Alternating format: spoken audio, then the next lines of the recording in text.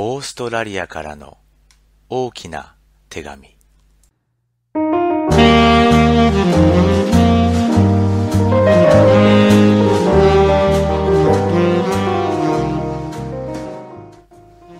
背景日本の皆さんそして世界中で日本語を理解される皆さんお元気ですか？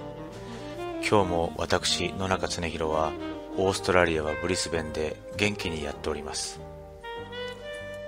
さあ最近はですね日本の京都の中学生の皆さんが私の勤務している学校に遊びに来てくれたかと思ったら今度は今月24日からですね私は生徒を連れて日本に行くわけですがその準備で大忙しというそういう真っ只中今日は放送をお送りしたいと思います。どうぞ最後までごゆっくりお楽しみください。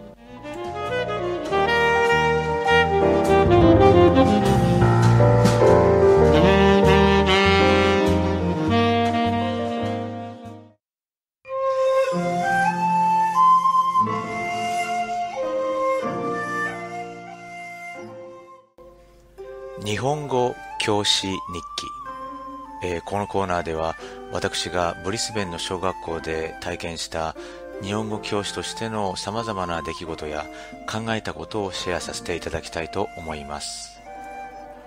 もうかれこれ長い間オーストラリアで日本語教師をやっていますがやはりその中ではね必ずしも楽しいという体験だけではないんですね。中にはちょっと勘弁してほしいなという体験もいくつかあるあるわけですね。例えば、こちらでは捕鯨、まあ、クジラに関しては、えー、日本に対してね、結構厳しい報道があったりして、えー、学校のね、えー、クラスの中でも捕鯨に対して批判的に扱う授業をやったりする人がね、結構いるわけですね。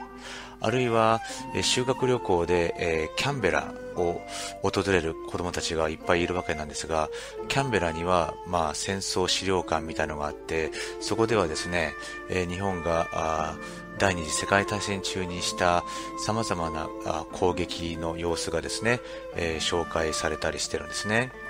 そうすると、やはり日本に対してネガティブなイメージをね、持たれる子供さんもいっぱいいらっしゃったりするわけなんですね。しかしそのネガティブなイメージをネガティブなままあるいはそれを強化することが教育じゃないと思うんですよねやはり教育というのはより広い視点大きな視点から物事を見つめ直す特に日本との関係で言えば日本とのこれまでのこと、そしてこれからのことをですね、どのように考えたらいいかということをですね、考えるための広い視野からの視点が必要じゃないかと思うんですね。えー、もちろんオーストラリアの生徒さんたちにですね、より広い多面的な視点を持って物事を見ていただくためにですね、授業中もいろいろな角度からの題材をね、扱ったりするわけですが、えー、それ以外に私が力を入れてるのは、先ほどもね、冒頭でちょっと言いましたけども、えー、日本に修学旅行に行くことなんですね。えこれは2年か3年に一度行っているわけで、え今回が実に5度目となります。えー、私が毎回生徒たちと決まっていくところはですね、東京と京都と広島なんですね。例えば、東京の科学館に行って、そこで最先端の科学について触れたりするんですね。そして一方で、広島に行って、平和記念館とかですね、えー、平和記念公園に行ったりするんですね。そうすると子供たちはふと考えるんですね。科学というのは使い道によっては平和を壊すことにもつながるし、一方で平和を作り出す、平和を増進させる方向にも使うことができるんだなということがね、分かったりするんですね。また、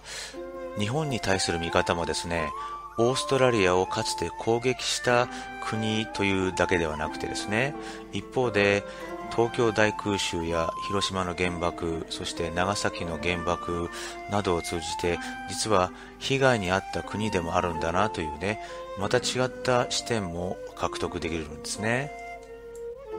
また、東京や京都で、え現地の小学校とね、えー、触れ合う時間があるんですけども、そういった交流を通じて、それまでね、日本っていうと違う子供がね、いるんじゃないかと思ったりするんですけども、もちろん言葉や顔形は違ってもですね、実際に同じ人間なんだというね、そういった共通の認識も育むことができるんですね。このようにですね、子供たちは様々な経験を通じて、これまでなかった新しい視点を獲得するんですね。やはり教育というのは、えー、これまでのね、凝り固まったステレオタイプとか一面的な見方を出して、新しい視点を獲得すること、そして多面的な視点を獲得すること、そしてその多角的な視点がやがて子供たちが大きくなった時に新しい社会を創造する原動力や土台になるんじゃないかなと思ったりしてるんですね。はい。私はそんな思いを込めながら、えー、これまで5回日本の修学旅行を、えー、計画してきました、えー、今回も9月24日から日本に行きます。今からとても楽しみです。以上、日本語教師日記でした。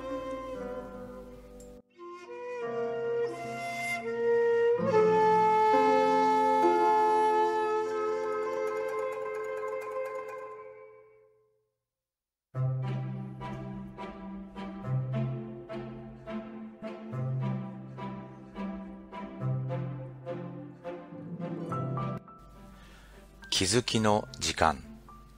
えー、このコーナーでは私が日々の生活の中で気づいたことや学んだことをシェアする時間です。今回はですね大きなスケールの視点を持つことの重要性について、えー、語ってみたいと思います。まあ古今東西、えー、様々なですね、えー、方がですね、えー、何か人が役に立つとか役に立たないとか、えー、割とそういったですね、えー、発言をしたりするわけですね。それによって多くの人が傷ついたりすることもあるわけですけどもね、私はそういったあの人は役に立つ、この人は役に立たないというね、えー、ことを言う人というのは、実は心の小さい人じゃないか。小さいスケールの心しか持っていないんじゃないかと思うわけなんですね。えー、心が大きければ、あの人が役に立って、この人が役に立たないなんてね、そういった断定はできないはずなんですね。つまり心が大きければ、今はね、役立たないように見えても、将来的にこういった形で役に立つんじゃないかということが見えてきたり、あるいは自分にとっては役に立たないけども、別のこの人にとっては役に立つかもしれない、などですね、様々な観点から実は役に立つんだということが見えたりするはずなんですね。しかし、心の小さいスケールしか持っていないとですね、えー、この人は役に立つ。あるいはあの人は役に立たない。そういった固定的なですね、ことで決めつけてしまいがちなんですよね。えー、昔中国の古典にですね、創始と呼ばれる古典があるんですね。この中のエピソードで、とてもためになるエピソードがあるんですね。それはどんなエピソードかというと、ある日ですね、ある男がですね、創始に対して、役に立たないものは存在が許されないんだということをですね、言ってきたんですね。えそれに対して、本当にそう思うのかと。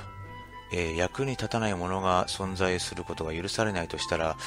今、あなたが立っている地面を見てみなさいと。その地面、まあ、あなたの近くにある地面は今あなたを支えているので、それは役に立っていますねと。でも、今あなたの立っているその地面から離れた場所にある土地、今ここからは見えない土地は全く役に立っていないから、その土地は全て切り取ってしまった方がいいということになりますね、ということを言うんですね。そうするとですね、そのさっき、えー、役に立たない人は存在することが許されないといった男はですね、ハッとするわけですね。そうなんですね。そこでの学びはですね、今仮に役立たないと思ったとしても、将来的にはその新しい土地に行ってね、その土地で何か別の新しい体験をするかもしれない、重要な体験をするかもしれない、何か役に立つかもしれないんですね。しかし、えー、心が小さいとですね、やはり自分の立っている足場しか見えなくてですね、自分がまだ行ってもいない新しい土地が見えないと、その新しい可能性が見えないということにもなるわけなんですね。やはりこのエピソードが語っているのもですね、やはり心のスケールが小さいと物事をね、役立っているとか役立っていないとか、正しいとか間違っているとか、敵とか味方とかね、そういった二元論で捉えてしまうということなんですね。しかし、え物事の本質は A か B か白か黒かの二元論ではなくてですね、すべては一つなんだ。その一つの中では実に多様な視点が含まれているんだということがね、やはりこのエピソードで言われていると思うんですよね。まあ、そうは言っても私たちはとかく物事を正しいか間違っているか、敵か味方か、なんていうね、二元論で捉えてしまいがちですよね。でもそういったことに関しても、この創始はですね、えー、深い、えー、問いかけをしてくださってるんですよね。例えばですね、私たちがこの地球上で、まあ中国という国の中でもいいですし、他の国でもいいですし、国と国が争ったりしてますよね。そこで思想が違うとかね、あるいは、えー、敵か味方かとかですね、そういったいろんなね、二元論の観点から境界線が引かれたり、対立したりしてるわけなんですけども、それをね、さらに大きなスケールの観点から中国から離れて、さらに宇宙的な観点から見ると、最終的にそれは地球というね、一点になるんだということなんですね。つまり、私たちが小さいスケールで持っていると、それは A か B かポジティブかネガティブか正しいか間違っているかというね、二元論に収まりがちなんですけども、でも、より対極的な大きなスケールの視点で見ると、それは一つなんだということなんですね。そうすると、この対極的なね、スケールの大きな点から見ると、全ては一つなので、えー、それがね、役に立っているとか役に立っていないとかね、そういった二元的に捉えることはそもそも矛盾であってね、そもそもその議論自体が成り立たないということになるんですね。では、その全ては一つといった場合の一つって何なんでしょうか？えー、これは老子や創始の中では天地と呼ばれたりしてるんですね。まあこれは天地という言葉が使われたとしてもですね、これは見える空とかね、あるいは見える地面とか、そういったものを指してるんじゃないですよね。これは全ての存在の根本になる一つの存在ということなんですよね。まあ、この言葉をですね、え古今東西様々な人々が神様とか something great とかね、あるいは今日のエッカルト・トールさんの言葉なんかを借りると、大いなる存在、なんていうね、言葉で言い表されたりしてきてますが、そこで表されていることは全部本質的には同じだと思うんですよね。え、ちょっと話がね、抽象的になってきてしまったんで、え、ちょっとまたね、元に戻しますと、やはりこの神とか something great とか天地とか呼ばれる視点から見るとですね、私たちの世界で展開している二元論は意味を持たなくなるということですね。えー、私は冒頭で、え今度オーストラリアの子供たちを連れて日本に行くという話をしました。やはり、え、この活動の根底にもですね、えー、日本人かオーストラリア人か、あるいは子供か大人か、西洋か東洋か、そういったね、いろんな二元的なものを乗り越えて、何か共通のね、一つを体験してほしいと思っているわけなんですね。それはね、まあ言葉で表すことは究極はできないそうですね。言葉というのはそもそもそれを発した途端にね、その対抗概念を生み出してしまう。例えば神と言ってしまうと神様じゃない、えー、存在をね、えー、前提としたりしますよね。そうではなくてですね、やはりみんなで何かを体験する、感じる、このことをね、えー、重視して、それをね、言葉で無理やり説明したりをね、しないようにしたいと思います。はい、えー、今日はですね、スケールの大きな視点を持つことによって、えー、役に立つか役に立たないかなどの二元論を乗り越えることができるんだというお話をさせていただきました。以上、気づきの時間でした。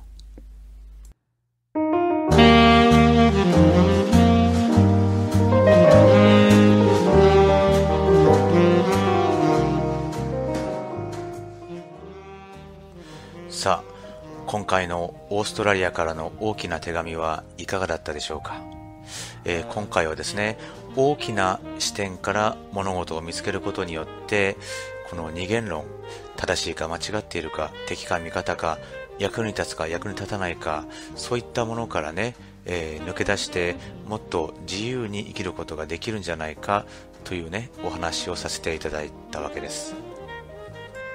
どうでしょうか？あなたの身の回りにもいませんか？何かね、えー、人をですね、え A か B か正しいか間違ってるかできるかできないかで、えー、簡単にね断定してしまってそれでいてかなりね発言力の強い人っているんじゃないでしょうかね。でもそういった人にね惑わされることなくですねやはり私たちは大きな視点を持って大きなスケールから物事を見つめて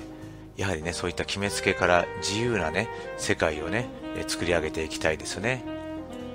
やはりですね人生は A か B かのどちらか一方だけというね、そういった選択じゃないですよね。やっぱりそういった A か B かという二元論に凝り固まってしまうと心がどんどん汚れてきてしまいますね。そういった方にこそ心をね、本当の意味で選択してほしいと思いました。はい。えー、今回も変なオチで終わりたいと思います。どうも今回もオーストラリアからの大きな手紙を聞いていただいてありがとうございました。オーストラリアより愛と感謝を込めて野中恒弘でした。敬具